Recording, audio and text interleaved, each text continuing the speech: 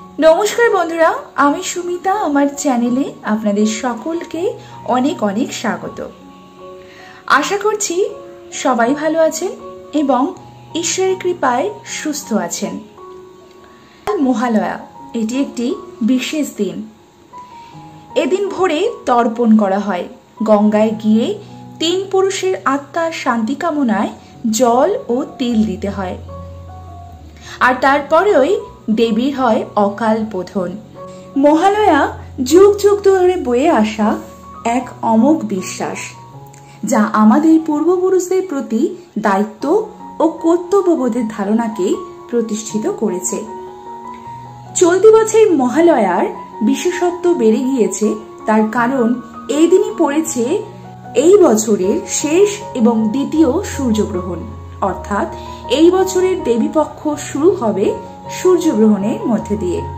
তাই এই দিনটি কিন্তু গুরুত্ব অনেক বেশি বেড়ে গেছে। পুরাণে বলা আছে, মহালয়ের দিনেই দেবী দুর্গা মহিষাসুরকে বধ করার দায়িত্ব পান হিন্দু শাস্ত্রমতে কথিত রয়েছে যে, মহালয়ের দিনই অশুভ শক্তির বিনাশ ঘটিয়েছিলেন দেবী দুর্গা। এই বিশেষ দিনে মহিষাসুরকে বধ করে অশুভ শক্তির বিনাশ ঘটিয়েছেন এবং শুভ শক্তির আরাধনা করেছেন। তাই মহালয়ের গুরুত্ব কিন্তু অপরিসীম। এবং যেহেতু এই বছর মহালয়ের সাথে সাথে এই দিন ঘটিত হবে সূর্যগ্রহণ, গত একশো বছরের ইতিহাসে যা কখনো ঘটেনি, তেমনটাই ঘটবে। তাই মহালয়ের দিনে সূর্যগ্রহণের সাক্ষী থাকবে গোটা দেশ তথা বাংলা। তাই এই দিনের গুরুত্ব কিন্তু অনেকটাই বেড়ে গেছে। আর এই দিন মাত্র তিনটি তুলসী পাতা দিয়ে আপনারা এমন একটি কাজ করবেন যাতে আপনাদের সমস্ত সমস্যার সমাধান হবে। আপনাদের আর্থিক সমস্যার সমাধান হবে, পারিবারিক সমস্যার সমাধান হবে। এক কথায় আপনার জীবনে সফলতা আসবে। আপনার কোনো পড়ে থাকা কাজ যেটি হচ্ছে না, সেটিও কিন্তু হয়ে যাবে। তাই বন্ধুরা, দেরি না করে চলুন, ভিডিওর মূল পর্বে যাওয়া যাক। তবে মূল পর্বে যাওয়ার আগে আমার সকল বন্ধুদের কাছে অনুরোধ, সম্পূর্ণ ভিডিওটি দেখবেন। আশা করছি আপনাদের ভালো লাগবে।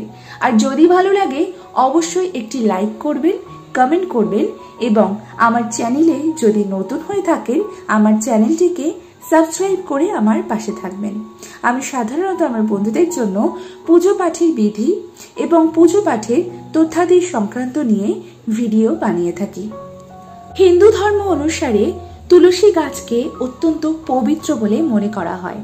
মনে করা হয় তুলসী গাছে স্বয়ং লক্ষ্মী ও নারায়ণের বাস। সেই কারণে তুলসী গাছকে গৃহস্থ বাড়িতে রেখে প্রতিদিন পুজো করার বিধি আছে শাস্ত্রে। প্রতিদিন ভক্তিভরে তুলসী গাছের পুজো করলে ভগবান শ্রী বিষ্ণু যেমন খুশি হন, তেমনি এর ফলে তুষ্ট হয়ে আশীর্বাদ বর্ষিত করেন মা লক্ষ্মী। ধর্মীয় দিক থেকে তুলসী গাছের যেমন বিশেষ মাহাত্ম রয়েছে, তেমনি বৈদিক জ্যোতিষেও তুলসী গাছে কিন্তু অত্যন্ত গুরুত্বপূর্ণ। তাই মহালয়ের দিন তুলসী গাছের তিনটি পাতা দিয়ে আপনি এমন একটি যদি কাজ করেন, তাহলে মা লক্ষ্মী আপনার উপর সদয় হবে তেমনি প্রীত হবেন সম্পদের দেবতা কুবের। মনে করা হয় যে এই উপায়টি করলে কুবের দেবতা নিজের সম্পদের ভাণ্ডার খুলে দেন সেই ব্যক্তির জন্য। চলুন বন্ধুরা, জেনে নিই তাহলে আপনারা কি করবেন। মহালয়ের দিন ভোরবেলায় ঘুম থেকে উঠবেন। যদি গঙ্গা স্নান করতে পারেন, খুবই ভালো। যদি গঙ্গা স্নান না পারেন, আপনি বাড়িতেই যখন স্নান করবেন, স্নানের মধ্যে একটুখানি গঙ্গা জল মিশিয়ে নেবেন এবং তার আগে অবশ্যই বাড়িঘর সম্পূর্ণরূপে পরিষ্কার করে নেবেন। এবং বাড়ির যে আপনার মুখ্য দ্বার রয়েছে, সেখানে এক ঘটি জল ঢেলে দেবেন। এবং কি জল ঢালবেন তার জন্য একটি ভিডিও আমার চ্যানেলে রয়েছে, আপনারা চাইলে দেখে নিতে পারেন। তারপর সব কিছু পরিষ্কার করে শুদ্ধ বস্ত্রে আপনারা তুলসী গাছে গিয়ে তুলসী পাতা তুলবেন। বন্ধুরা, একটি জিনিস মনে রাখবেন, কখনোই একসাথে অনেকগুলি তুলসী পাতা তুলতে নেই। একটি একটি করে পাতা তুলবেন আপনারা এবং এই মন্ত্রটি বলবেন ওম সুভদ্রায় নমঃ। এই মন্ত্রটি একবার বলবেন এবং একটি করে পাতা আপনারা তুলবেন। এইরমভাবে তিনটে পাতা আপনারা তুলবেন। পাতা তিনটি তুলে আপনার ঠাকুর ঘরে যে আসন আছে অর্থাৎ যেখানে আপনি ঠাকুর বসিয়েছেন যে আসনের উপর ঠাকুর বসানো রয়েছে, সেই আসনের নিচে আপনারা সেই তিনটি তুলসী পাতা রেখে দেবেন। আপনার যে আরাধ্য দেবতা আছে, এই তুলসী পাতাটি সারাদিন সেখানে থাকবে। এরপর কি করবেন? যখন সন্ধেবেলা আপনারা তুলসী তলায় অবশ্যই ঘিয়ের প্রদীপ দেখাবেন, ধূপ দেখাবেন। এবং সেই দিন রাত্রিবেলা যখন আপনারা শুতে যাবেন ঠিক তখন শুদ্ধ বস্ত্রে সেই তিনটে তুলসী পাতা নিয়ে আপনি যেখানে শোবেন, সেই শোয়ার বালিশের নিচে আপনারা এই তিনটি তুলসী পাতা রেখে দেবেন।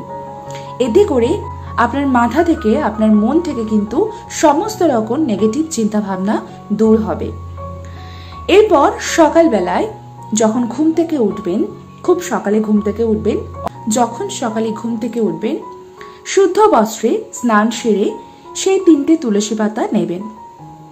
তিনটে তুলসী পাতা দিয়ে কি করবেন আমি পুরো বলে দিচ্ছি, ভালো করে একটু শুনে নেবেন এবং সঠিকভাবে প্রক্রিয়াটি করবেন এবং অবশ্যই মনে বিশ্বাস রেখে করবেন। তিনটে তুলসী পাতার মধ্যে একটি আপনারা রূপোর কৌটো ভরে, যদি আপনাদের কাছে রূপোর কৌটো থাকে, তাহলে রূপোর কৌটোতে ভরে রাখবেন। যদি রূপোর কৌটো না থাকে, সেক্ষেত্রে আপনারা স্টিলের কৌটোতেও ভরে রাখতে পারেন।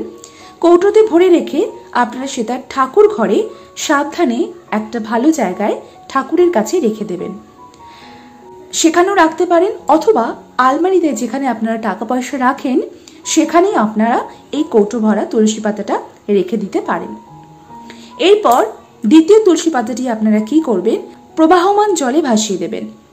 আপনার বাড়ির আশেপাশে যদি কোনো পুকুর থাকে, সেই পুকুরে আপনারা সেই তুলসী পাতাটি বিসর্জন দিয়ে দেবেন।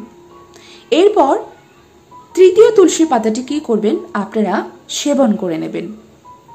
এতে করে আপনাদের জীবনের সমস্যা যেগুলি চলছে, আপনারা যে সমস্যার মধ্যে দিয়ে যাচ্ছেন, সেগুলি সমস্ত কিছু দূরে চলে যাবে। অর্থনৈতিক দিক থেকে আপনারা অনেক বেশি স্বাবলম্বী হবেন। নতুন নতুন অর্থ ইনকামের রাস্তা আপনাদের সামনে খুলে যাবে। যারা ব্যবসা করছেন, ব্যবসায় উন্নতি হবে। যাদের চাকরি ক্ষেত্রে উন্নতি হচ্ছে না, তাদের চাকরি ক্ষেত্রে উন্নতি হবে। আপনারা নিজেরা প্রত্যক্ষ করবেন যে আপনাদের সফলতা কীভাবে আপনাদের কাছে আসছে। কিন্তু বন্ধুরা, সবশেষে আমি একটা কথা অবশ্যই বলব। এগুলো যত কিছুই আপনারা করেন, মনে ভক্তি রেখে অবশ্যই করবেন। কারণ মনে ভক্তি রেখে যদি না করেন এবং বিশ্বাস করে যদি না করেন, কোনো বিশেষ কাজ বা কোনো টোটকাই কিন্তু আপনার ফলপ্রদায়ী হবে না। যদি মনে বিশ্বাস রেখে, ঠাকুরকে বিশ্বাস রেখে আপনি করেন, তাহলে সমস্ত কিছু, আপনার সমস্ত মনের আশা, সমস্ত বাধা কেটে যাবে। তাহলে বন্ধুরা, মহালয়ের দিন অবশ্যই আপনারা এই টোটকাটি কিংবা এই বিশেষ উপায়টি অবলম্বন করুন এবং আপনাদের সমস্ত সমস্যার সমাধান করুন। তাহলে বন্ধুরা, আশা করছি আজকে আমার ভিডিওটি আপনাদের ভালো লেগেছে এবং একটু হলেও আপনাদের উপকারে আসবে। যদি ভালো লেগে থাকে, আমার কমেন্ট বক্সে অবশ্যই জয় মা দুর্গার জয় লিখবেন এবং আমার ভিডিওতে একটি লাইক করে দেবেন। এবং আমার চ্যানেলে নতুন হয়ে থাকলে আমার চ্যানেলটিকে সাবস্ক্রাইব করে আমার পাশে থাকবেন। তাহলে আজকের ভিডিওটি এখানেই সমাপ্ত করছি। আবারও দেখা হবে আপনাদের সঙ্গে আরও একটা নতুন ভিডিও নিয়ে। খুব শিগগিরই ততক্ষণের জন্য আপনারা সকলে ভীষণ ভালো থাকবেন এবং সুস্থ থাকবেন।